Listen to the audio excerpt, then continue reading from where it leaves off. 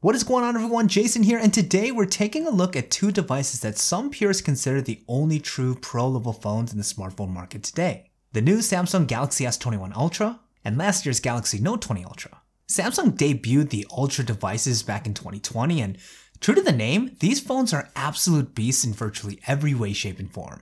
The new Galaxy S21 Ultra is a perfect example of that sentiment, as this phone in my opinion has firmly positioned itself as one of the most powerful, feature-rich smartphones available today. And I was thinking about what competitor puts up a good fight against this powerhouse of a phone, and oddly I came up with this guy, last year's Galaxy Note 20 Ultra. Even though this is Samsung's quote-unquote older device, after really thinking about it and putting it to the test, there's a strong argument to be had that the 2020 Note 20 Ultra is just as good, if not better, than the new S21.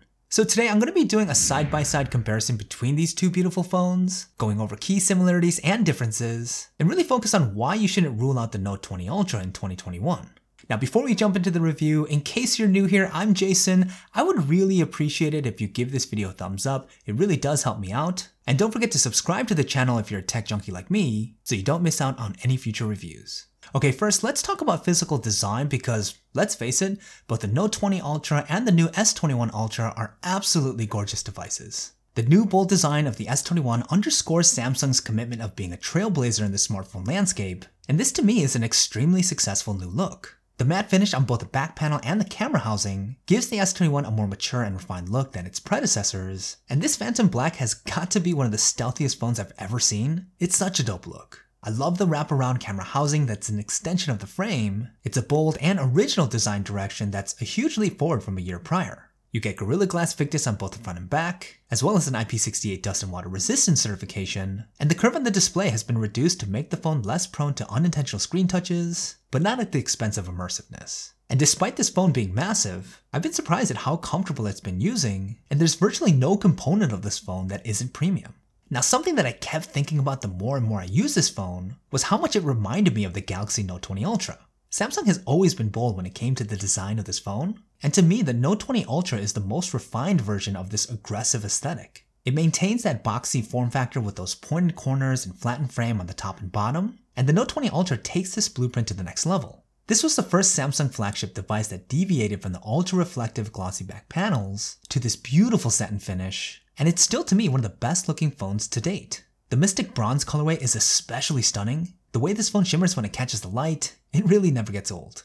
This is also in my opinion the first time Samsung really embraced the camera housing as a design element. They didn't try and hide what it was, and instead integrated it really well with complementing build materials and colors. You get the same Gorilla Glass Victus on the front and back, and the same IP68 dust and water resistance rating. And even though the display has deeper curves than the S21, it's way less aggressive than what Samsung has had in the past, and it's also surprisingly a comfortable phone to use despite being the long-standing phablet device. Ultimately, when it comes to look and feel, both phones are fantastic and probably the best looking, best put together devices available today. To me, it's pretty clear that Samsung borrowed a lot of design cues from the Note 20 Ultra, and I think it's neck and neck with the S21, despite it being an older device. Now when it comes to displays, both are rocking Samsung's class-leading dynamic AMOLED panels, and these are some of the biggest and immersive screens you can get in the market today. The Note 20 Ultra is just slightly bigger, but both only have single hole punch cutouts for the front-facing camera, and virtually no forehead or chin to be seen.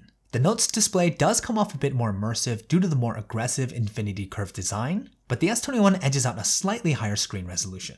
But both of these devices give users an enormous amount of screen real estate, and as to be expected, the quality of these Samsung panels is best in class. The displays can get really bright, the colors are vibrant, you get fantastic contrast this being an OLED, and Samsung does a really great job calibrating their display settings to make HDR content consumption extremely enjoyable. Now one of the best features associated with both displays is the 120Hz variable refresh rate, something that Samsung introduced last year in the Ultra lineup, giving users a noticeably more smoother user experience. Both phones allow you to leverage this feature majority of the time when you have it turned on, and automatically clocks the refresh rate down when not needed in order to save on battery life. Now the biggest difference between the S21 and the Note 20 Ultra is that the Note required users to reduce their display resolution to 1080p in order to take advantage of the higher refresh rate. It wasn't a big deal for most as it's almost impossible to discern a difference with a display this small, and it really didn't have an impact on day-to-day -day use. The new S21 Ultra is now the first Samsung flagship phone that can take advantage of this high refresh rate at the full 1440p resolution,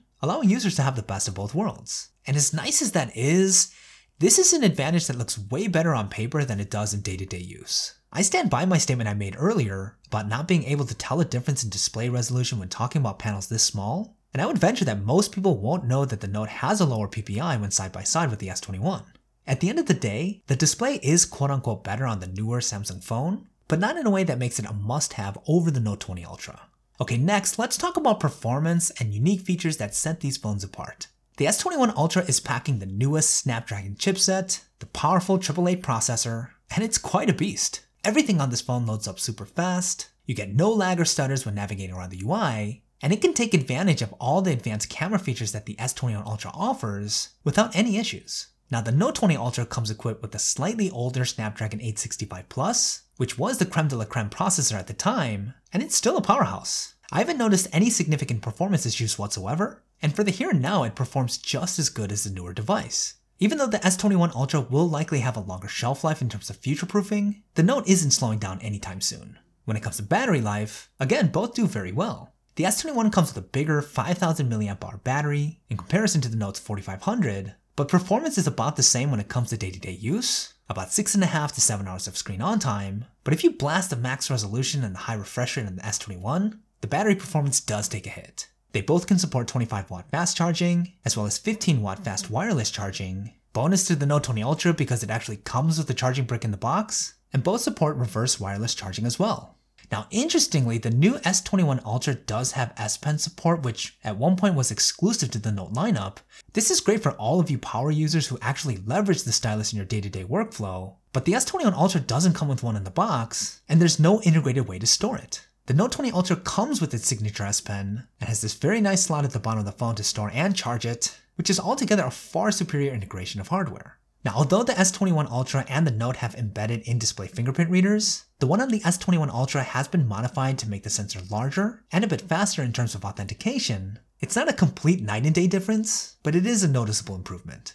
But one area where the older phone really has the advantage is storage. Though they both start with 128GB of base internal storage, the Note 20 Ultra is still equipped with the microSD card slot for expanding externally, while the S21 Ultra sunset the microSD card slot completely, which kinda sucks. And that leads me to my last area of comparison, the cameras. Both the S21 and the Note 20 Ultra are packing some serious hardware when it comes to cameras. The S21 does have an additional camera on the back giving it a total of 4. You have your standard primary wide angle, an ultra wide, a 3 times optical zoom, and a 10 times zoom periscope lens as the new addition. While the Note only comes with the first three focal lengths, the sensors themselves are very similar, particularly the main wide-angle sensor that comes in at a ludicrous 108 megapixels, and image quality is extremely comparable. They both produce very sharp stills that have virtually the same color calibration, the dynamic range is great, and both offer users a wide variety of shooting ability, with all the cameras being made available. It's the same when it comes to video, both can shoot at a crazy 8K resolution at up to 24 frames per second, and the quality coming out of both phones is exactly the same.